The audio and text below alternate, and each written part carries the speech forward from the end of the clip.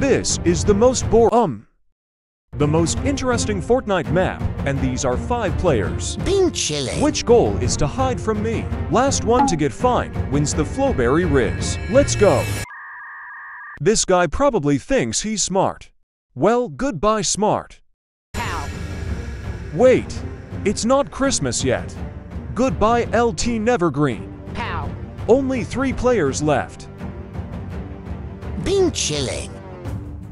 Lol, bro thinks he's Santa Claus. Anyway, only two players left. Do you see what I see? Dude thinks he's invisible. Classic mistake. Pow. Now let's find the winner. Been chilling.